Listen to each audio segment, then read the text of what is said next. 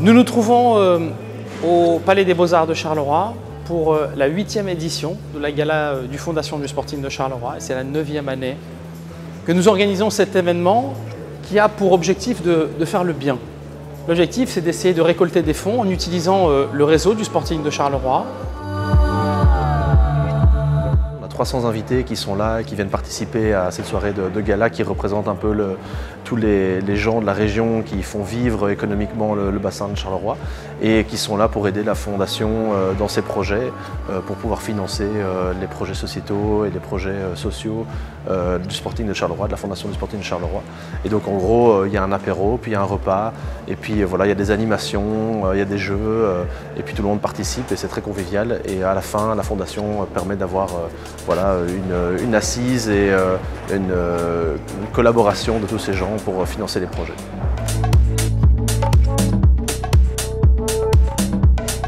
C'est une soirée qui permet de fédérer, c'est une soirée qui permet de montrer et de démontrer que les Carolos sont généreux et qu'ils sont présents pour, euh, les autres parce que la Fondation du Sporting de Charleroi, on a présenté toutes les activités qu'elle qu'elle fait d'année après année parce que le Sporting de Charleroi, voilà, c'est pas que uniquement un club de foot, c'est aussi aujourd'hui une structure qui euh, essaye de, venir en aide et d'assumer une certaine forme de responsabilité sociétale. au niveau émotionnel, mais je crois que c'est cette rencontre avec autant de personnes qui soutiennent la cause que nous défendons.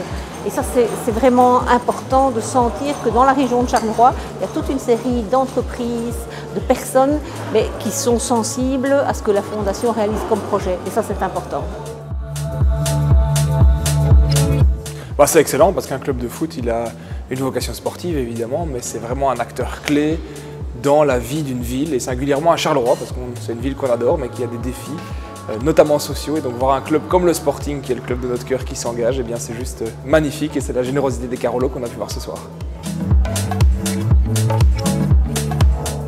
Ben, c'est clair que je suis fier qu'un club comme Charleroi, qui au final est identitaire pour nous, euh, Carolo, ben, je trouve que c'est une, super action, une bonne action et en fait c'est pleinement dans le thème euh, fier d'être Carolo.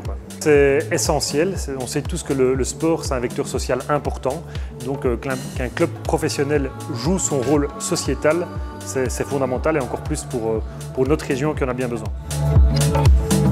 Alors en une phrase, ben, cette soirée je crois qu'elle était tout simplement magique du début jusqu'à la fin.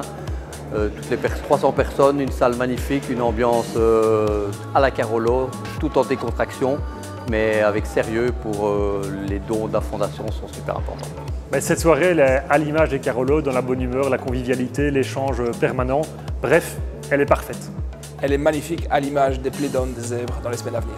Cette soirée était tout à fait chaleureuse euh, grâce à l'ambiance qui a été mise par tous les- toutes les personnes qui étaient là et grâce à la générosité des, des convives du Sporting de Charleroi et euh, aussi chaleureux que ce que le Montbourg peut être dans ces grands moments.